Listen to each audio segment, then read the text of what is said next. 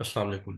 Welcome to लजीज institute आज हमारा है थर्ड लेक्चर जो कि सीट सर्टिफिकेशन ऑफिसर के हवाले से हमने आपको बताया था। तो वो थर्ड लेक्चर हमारा किस पोर्शन से होगा? तो ये है हमारा सिलेबस तो उसमें हमने, क्योंकि हमारा पहला पार्ट भी हो चुका है, एक लेक्चर और दूसरा भी हो चुका है तो अब है हमारा लास्ट पार्ट ठीक है? उसमें जनरल नॉलेज और जनरल नॉलेज में बेसिकली जो है ना, आप ये नहीं कह सकते कि इसमें जो फेडरल का पोर्शन होता है, उसमें करंट अफेयर्स तो उसने पहले ही बता दी है और लॉजिकल मतलब मैथमेटिक्स उसने दो चीज़ें उसने ऑलरेडी बता दी।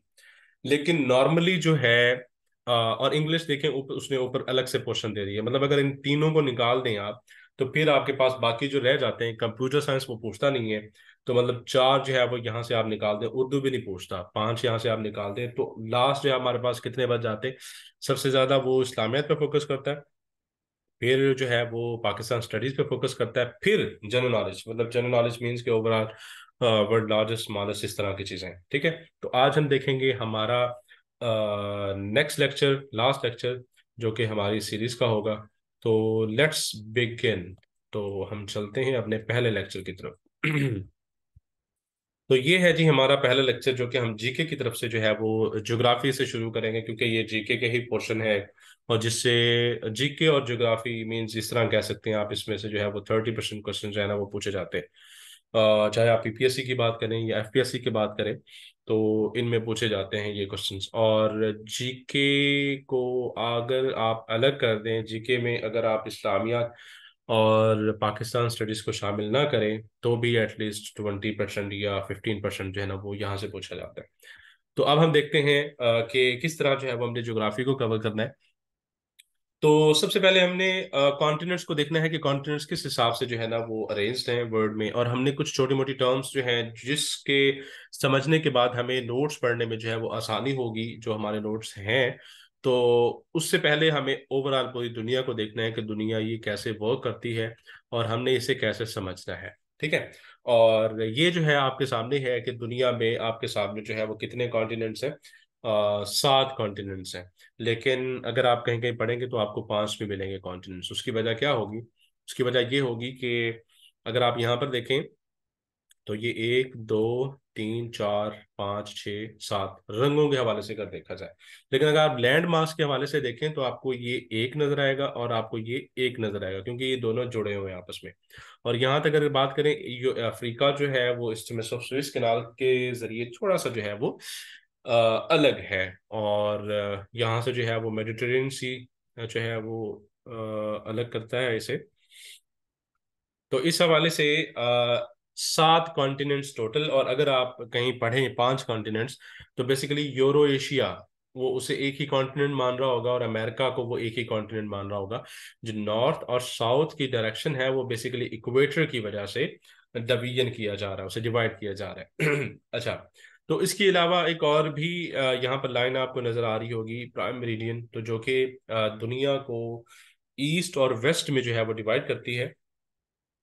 और अब हम चलते हैं एशिया की तरफ़। सबसे पहले हम देखेंगे एशिया को और एशिया के हवाले से जो रेलिवेंट इसके साथ जो एमसीक्यूज मोस्टली बनते हैं वो देखेंगे। जो पहली रिक्वायरमेंट है जीके को पढ़ने की वो है मैप्स अगर आपको मैप्स जो है वो समझ लग गई है तो आपके लिए करंट अफेयर्स भी मुश्किल नहीं है। इवन कि आपके लिए पाकिस्तान अफेयर्स भी मुश्किल नहीं है और हाँ इस्लामियात भी आपके लिए जो है वो बहुत ईजी हो जाती है अगर आप वो हिस्टोरिकल परस्पेक्टिव में आपसे पूछता है तो।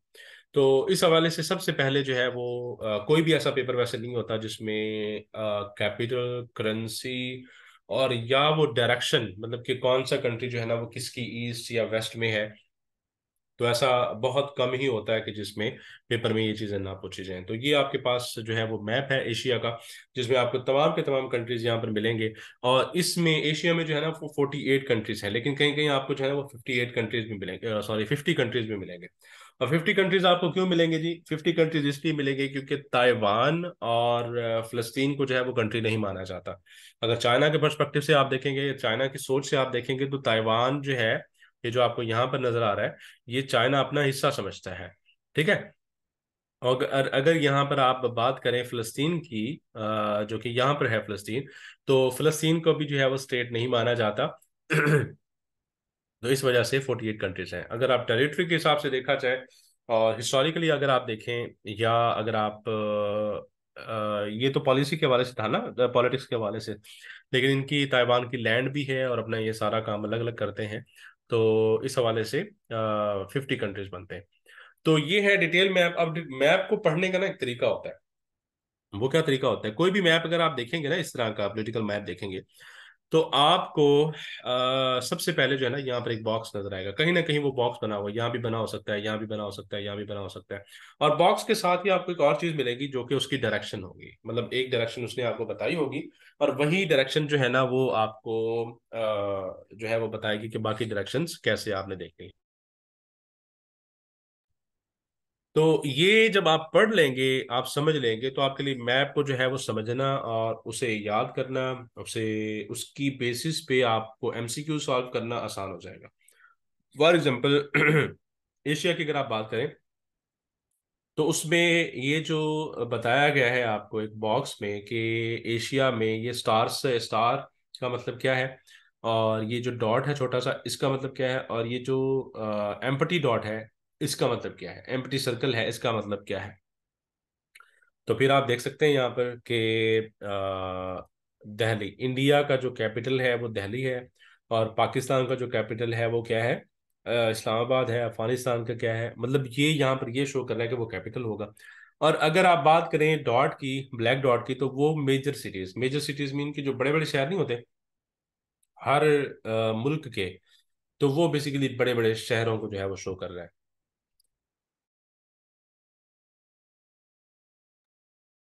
तो अगर आप बात करें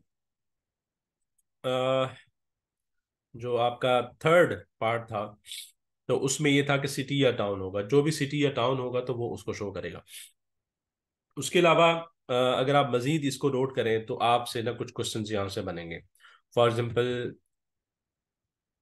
अरल सी जो है, वो कहाँ पर लोकेटेड है? सेंट्रल एशिया में है साउथ एशिया में है ये क्वेश्चन है। अच्छा यूरो मोन्टेन जो है वो किस किस को जो है वो अलग करते हैं? मतलब ये रशिया को किस से अलग करते हैं?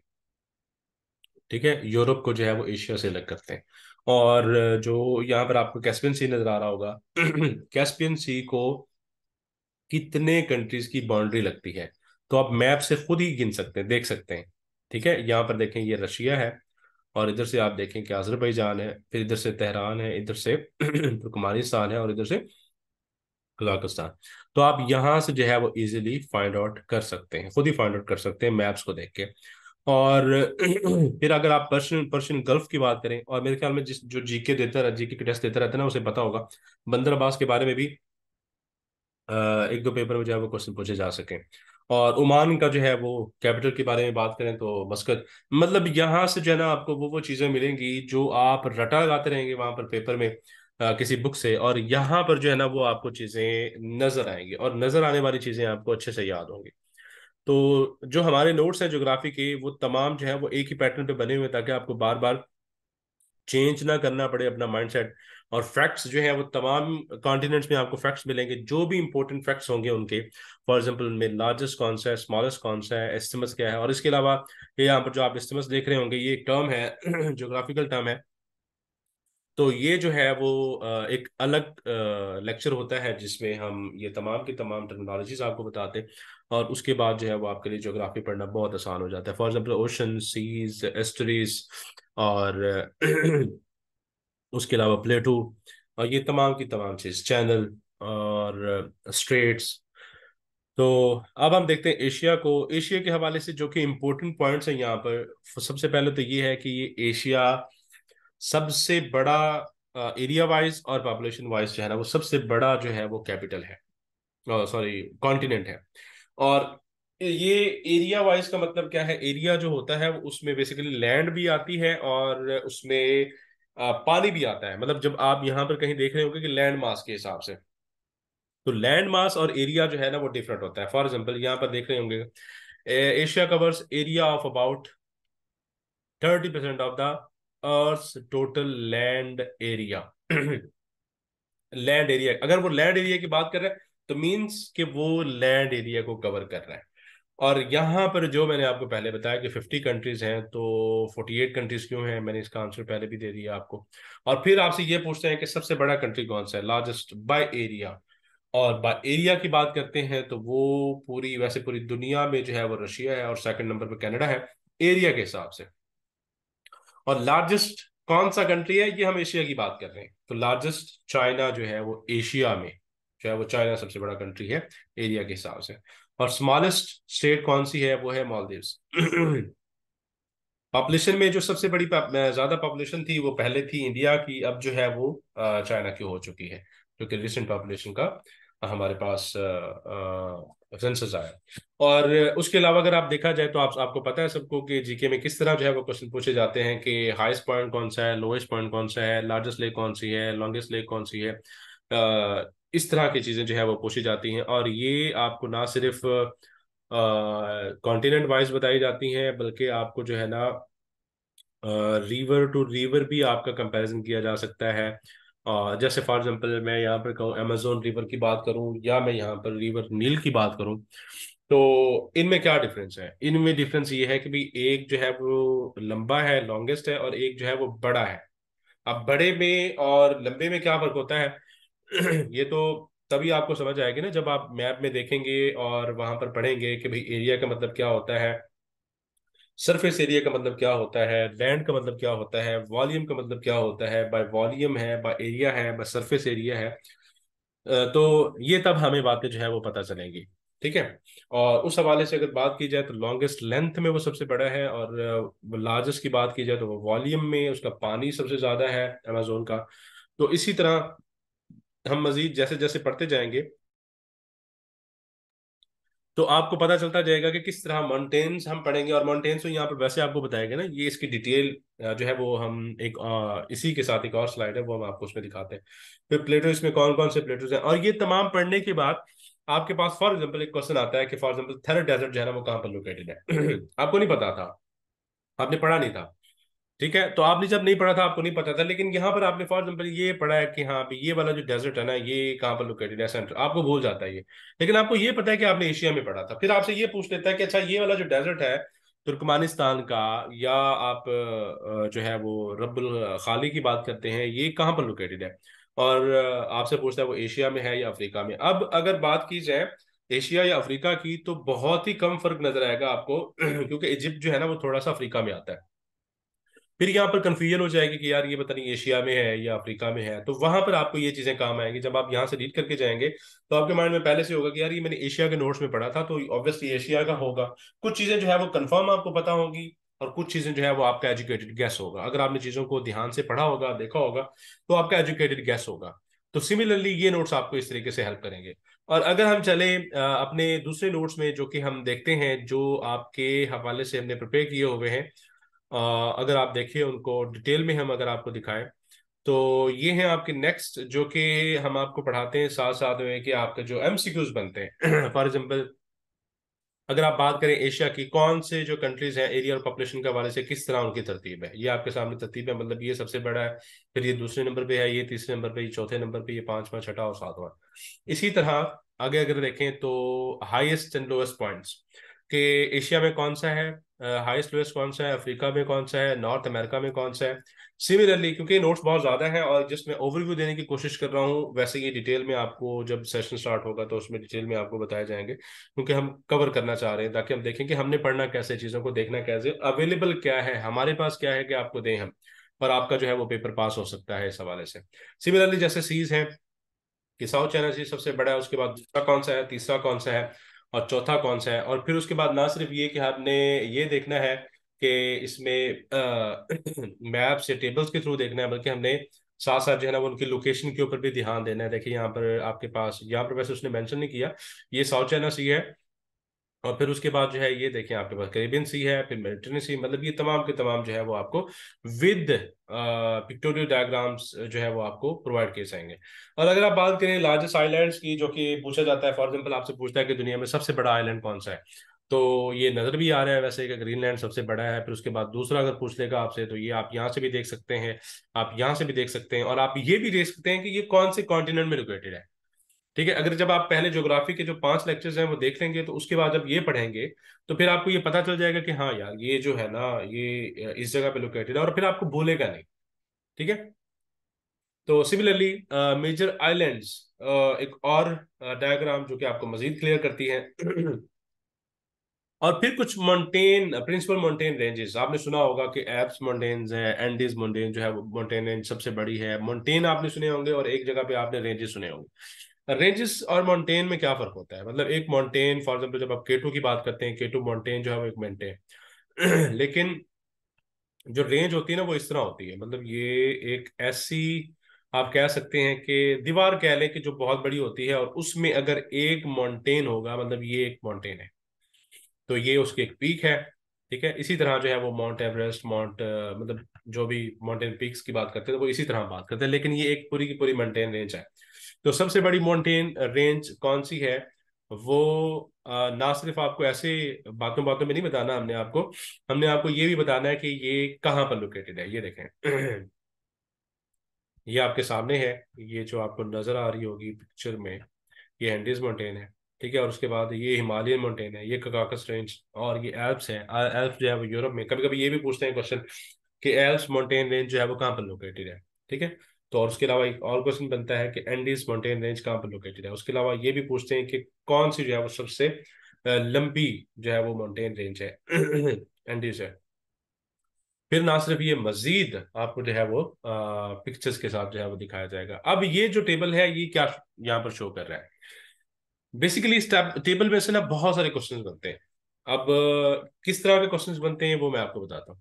फॉर एग्ज़ाम्पल सबसे पहला तो क्वेश्चन ये बनता है ना, जो नॉर्मली बनता है कि सबसे बड़ी पीक कौन सी है? और दूसरा फिर ये बन जाएगा कि उसकी हाइट क्या है? और उसकी हाइट कभी मीटर में पूछ लेगा, कभी फीट में पूछ लेगा। ठीक है?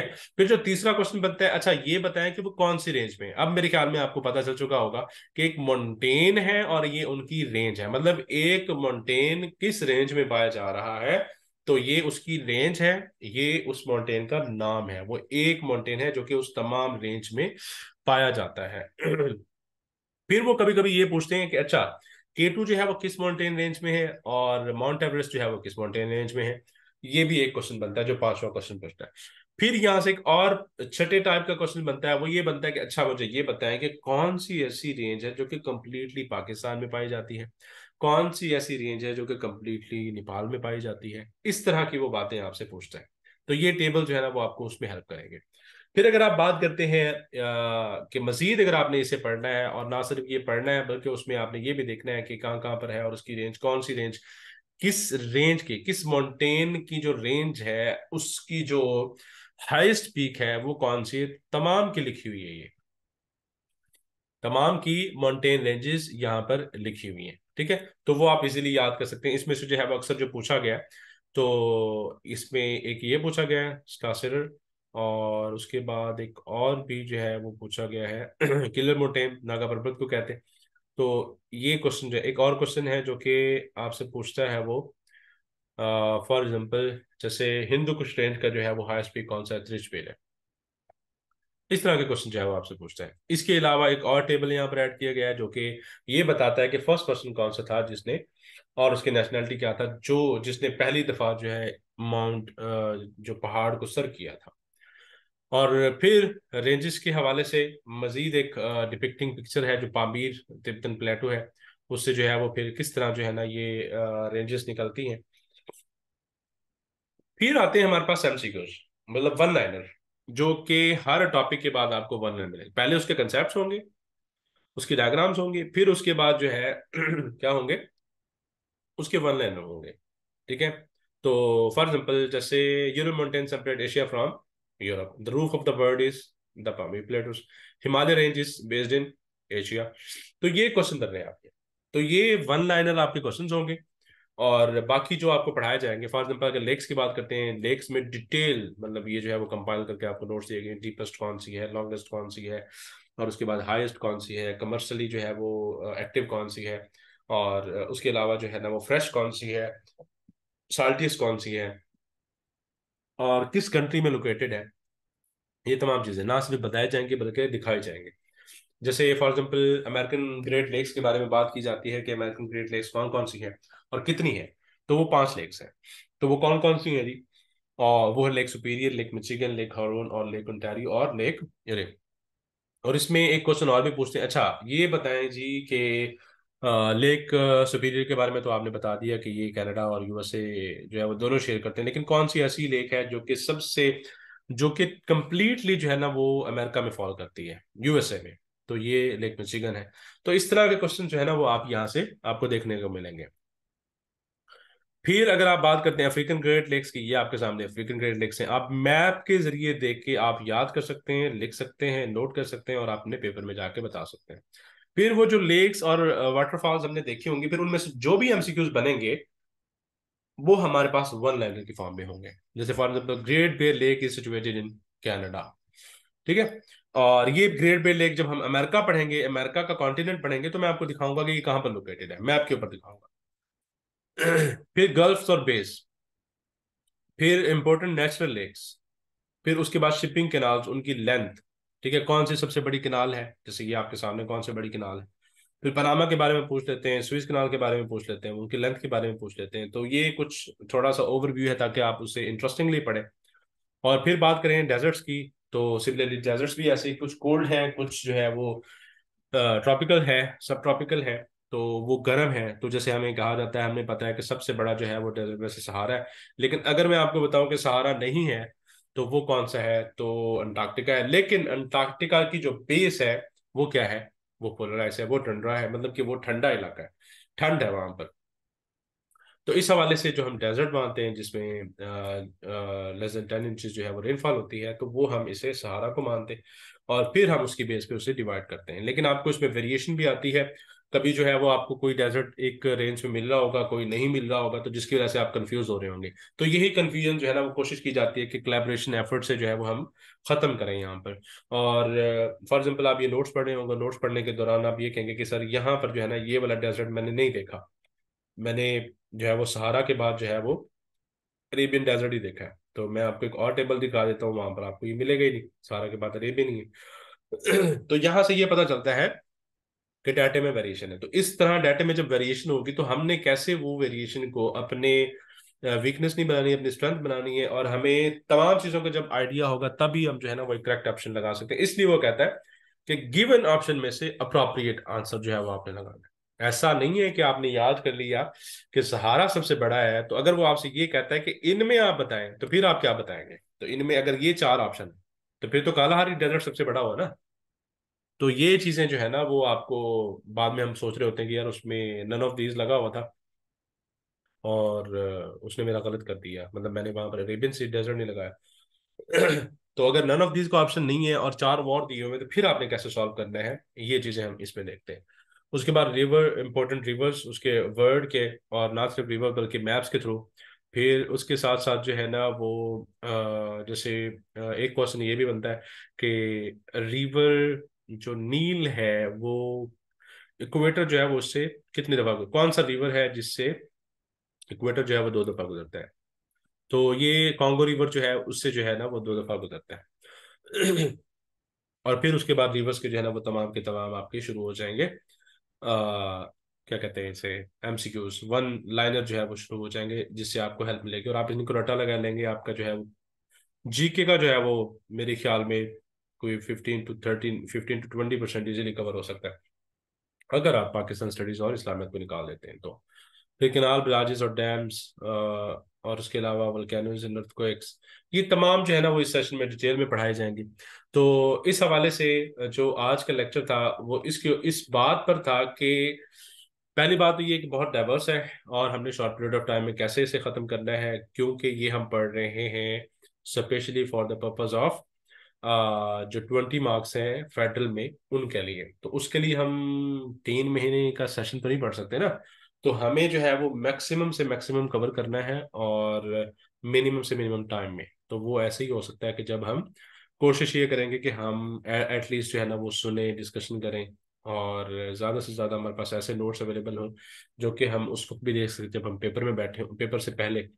तो इसलिए जो है ना ये सेशन आपके लिए हेल्पफुल हो सकता है। तो ये था आज का आपका जीके का लेक्चर और आज के लिए इजाज़त दें। अल्लाह हाफिज़।